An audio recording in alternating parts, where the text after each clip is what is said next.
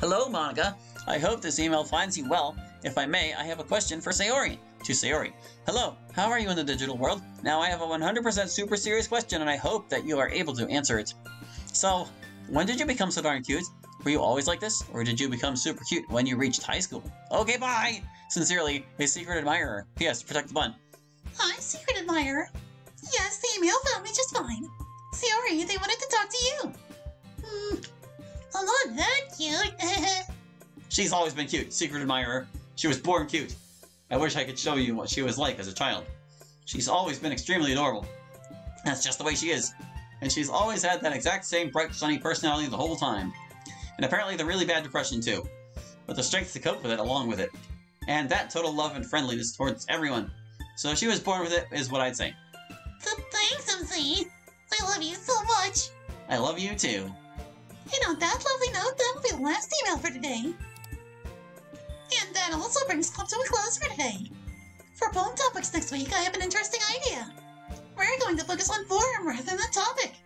So for next week, everyone write an Elizabethan style sonnet, which would be a 14-line poem in iambic pentameter, and a particular rhyme scheme which I'll send out. But for now, that's it. I know Yuri and Sayori can definitely walk home from here, but you'll probably never ride, Natsuki. Hang on a sec, Monika. Would you guys be interested in having a little holiday season celebration here tonight? We're going to be having one anyway, and you guys would be more than welcome. You know I'm in. I'd be in for that too. Mm. Oh, we'll be in too. But first, there's something we need to take care of at the school. Don't worry about giving us a ride. We'll just walk there and back. You guys just go ahead and start the party without us. It shouldn't take too long. What are you guys doing? Nothing you need to worry about. Yuri, is it really nothing you need to worry about? Yes, it's nothing you need to worry about. Well, alright then. Just don't get back too late and I'll purpose all the fun. Don't worry, we won't. Come on, Yuri, let's get going. Wonder what they're getting up to. Probably best not to ask. Or use one's partial omniscience to figure out. All is quiet in the student council room. But then, some muffled voices are audible out in the hallway. Check this out. I got you some lockpicks for this. You shouldn't have those. It'll look suspicious if we get caught here. Yeah, but like we need to get through the door. And it's locked. You can't, or you can tell from the... No need. Watch this. What? How did you... That's my secret. Well, don't expect me to be impressed or anything. I won't, tsundere. You... Shh. We're supposed to be sneaky right now. My wrath is only delayed. Get the door behind you. Done. So now what? All their file cabinets and shit are locked. Or are they? Yuri casually slides open a filing cabinet, discreetly stashing a piece of paper in her jacket pocket as she does so. How do you do these things? Never mind that. You should get going and look for whatever it is you think is going to help us. On it! Fifteen minutes later. Man, there's nothing that can help us here. The student council people are so boring. Well, I can't say I'm too surprised. I'm not really sure what it is you expected to find here in the first place. I don't know, just something. Something that could help us get back to the way things were. Well, at least only I all know of your failure. Our failure. You, you're totally an accomplice. I suppose I am. But in any event, we should get out of here before. What was that? Someone's moving around out there. It sounds like they're coming this way. We'll have to hide. There's just enough room in that really tall cabinet. If we get in there, we should be able to. No, I am not doing that trope. What trope? The trope where there's, like, an enclosed space and two people have to hide in it who, who, um... We're out of time. Look, if it's too cramped, you just get in there. But where will you go? I'll manage. Hurry up now. Natsuki hides in the cabinet. Yuri stands behind the angle of the entry door, so as to be hidden behind it when it opens. Huh. Well, this light got turned off already.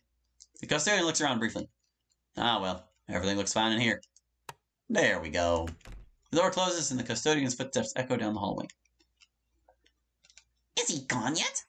Yeah, I think so. Come on, get out of there and let's get going before something else happens.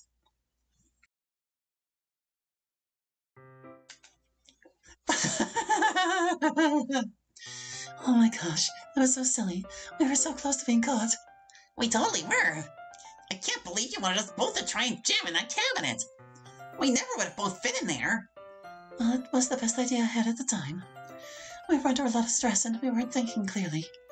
Yeah, it was kind of fun though. Yeah. Well, um, come on, let's go hit up MC's holiday party. Everyone else will be wondering where we are. All right. no fair, that was a surprise! How can it be a surprise? I was holding the mistletoe right over you. They sure are having fun, huh? Yeah, they are. So how did it go with you and Yuri at the school? You guys did whatever it was you were going to do. Well, both yes and no, really. But overall, I'd say it was a success. Huh. Monika and Natsuki watch as Sayori and MC collapse in a fit of giggling. Pretty happy. Wish I could be that happy with someone. And Natsuki, I hope you get to be that happy with someone. You deserve that kind of happiness, you know. Yeah.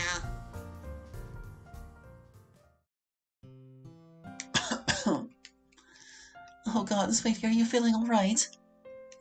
Oh, fine, other than dying of cancer, Mom. You shouldn't say things like that. Do you want to call your sister? No, that's okay. I'm I'm sorry, your father and I, we... I know, it's okay, Mom. Don't beat yourself up, okay?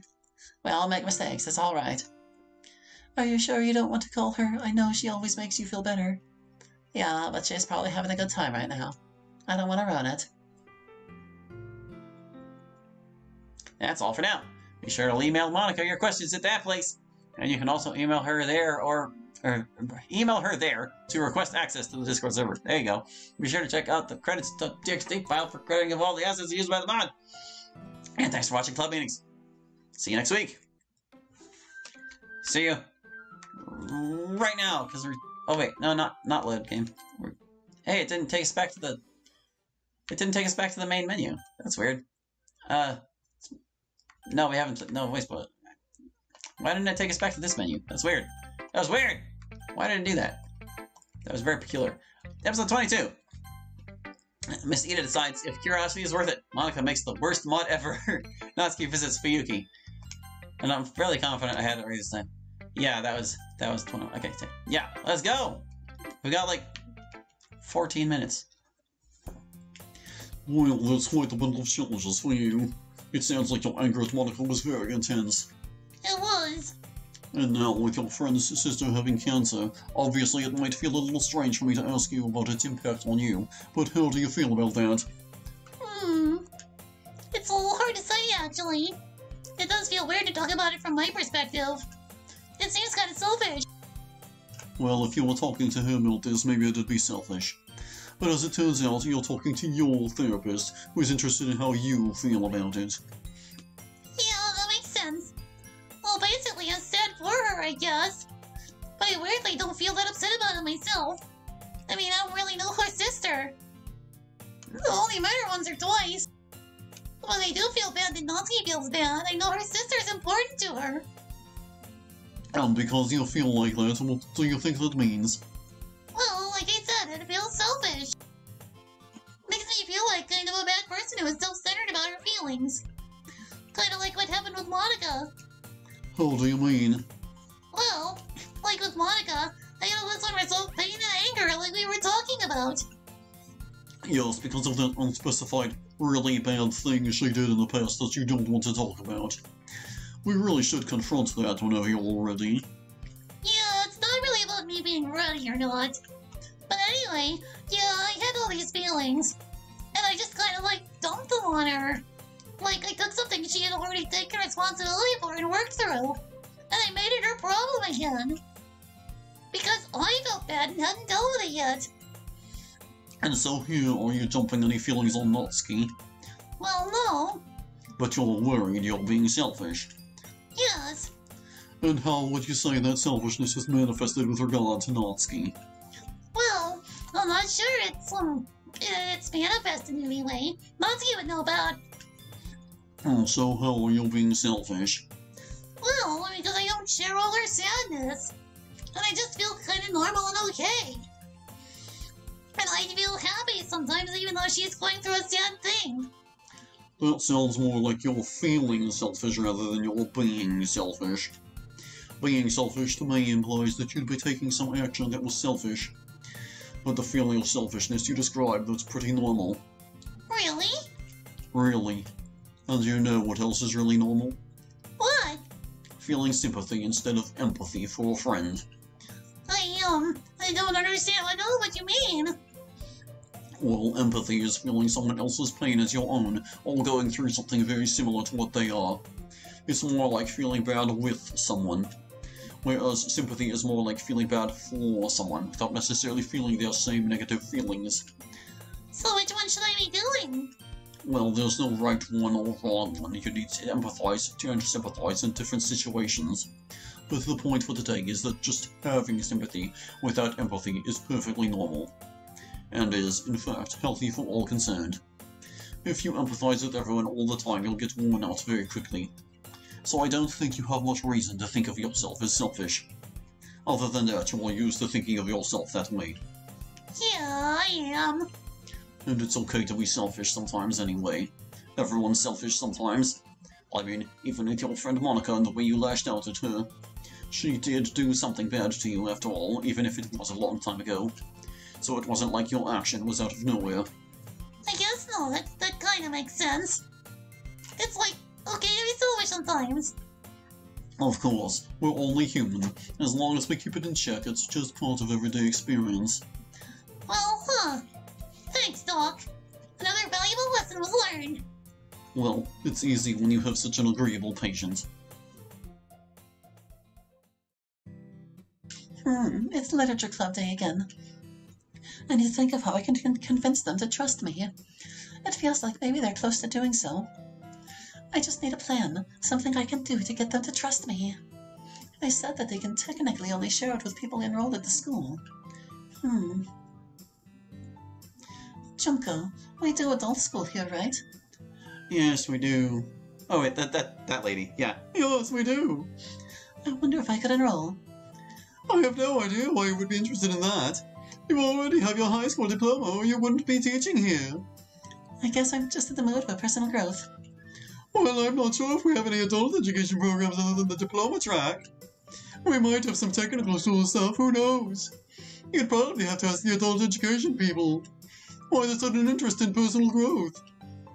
Oh, it's just being the literature club advisor has been pretty inspiring. Reminds me of when I used to write when I was young. It kind of made me miss it. Well, you wouldn't exactly get anything like that doing technical school. No, but it's nice to just do some kind of personal growth, no matter what it is. Oh, I suppose that's true. Although it's out of character for you to be so wretchedly sassy. I guess I am usually more settled and content, aren't I? You are. I was advising the Lucha Club going? Any interesting students? I remember that Yuri is in that club. She is. She's a wonderful student. And very kind. Yes. Other than that, we have Monika, Sayori, MC, and Natsuki. And Kenzo was part of the club for a couple weeks, too. Yes, you were telling me about that. His extra credit project. Did that turn out all right? Well, it did result in him getting a chance to redo some essays, and he got the grade of a C+, plus, but it'll be up to his performance on his finals, I suppose. Well, best of luck to him, I suppose. Yup. I'm going to head off now. Speaking of the literature club, I wanted to talk to Sayori before school starts today. Hopefully I can find her coming through the gate. Good luck. Have a good day, MC. Remember what I said. Yeah, yeah, I will. You have a good day too, Bun. Hi, Mazita. Hi, Sayori. Good day so far. So far, yes. So I wanted to talk to you about the whole uh, the whole club thing. Hmm. You should forget about it. What? You should forget about it. We were not kidding about it being something really, really bad. And something that you really would be better off staying away from. Sometimes secrets are better off kept rather than shared, you know? Is that why you lied about it to me when I first asked? Yes.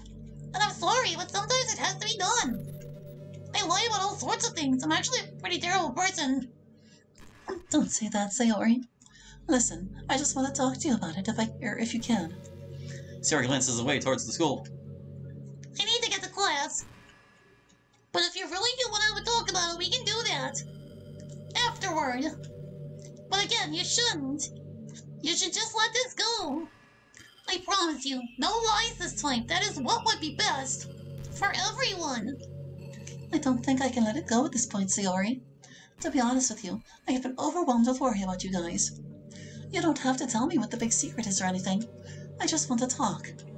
Well, alright then. I'll see you after class, I guess. Monika and Natsuki are standing behind a table with cupcakes on it. So me, Monika, why am I out here again? Because the student council cut our funding a little. But I'd like to keep doing all the same things that we have been doing. So we need to have a little fundraiser. So hopefully we can sell these cupcakes and make back some cash for the club to use. Yeah, that part I get. That's obvious. What I don't get is, why am I out here? When it was me who made the cupcakes already. I feel like my contribution to this project has already been made.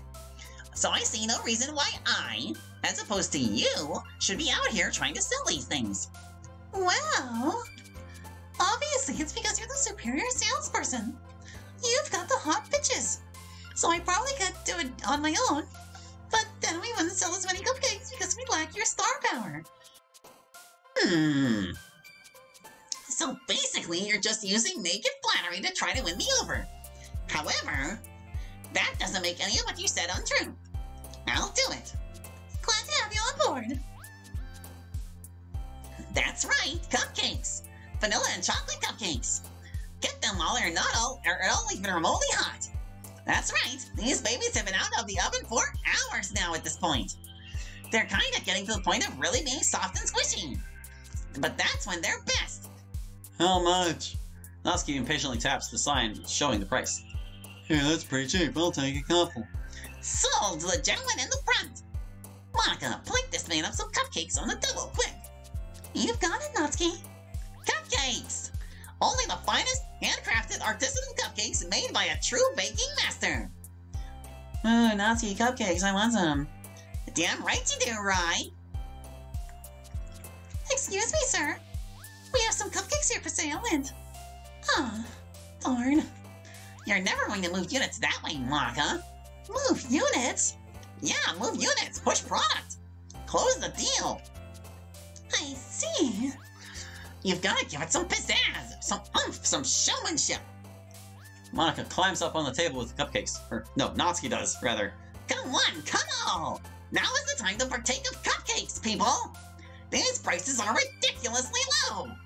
Only a clerical error of astonishing incompetence could have resulted in a cupcake so delicious being so magnificently cheap! Natsuki, extremely loud, or yeah, Natsuki's extremely loud yelling, has actually attracted a small crowd and a few start buying cupcakes. Cupcakes! Cupcakes! Phew, the break is just about over. We did pretty well. Only a couple of cupcakes left. You want to split them? Sure. I'm surprised you can still talk after all that screaming. Isn't your voice hoarse? Yeah, a little. But that's the price of being a closer. Well, however you did it, you did a great job, Natsuki. We'll be able to get you lots more baking ingredients with this money, along with everything else. Natsuki, are you okay? Natsuki quickly shakes her head no. Oh, dear! She's, she's feeling things. But unfortunately for Natsuki, we are out of time for this episode. So thank you for watching. I hope you enjoyed. And we'll catch you next time with more Club Meetings Season 2. Hope to see you then. Bye-bye.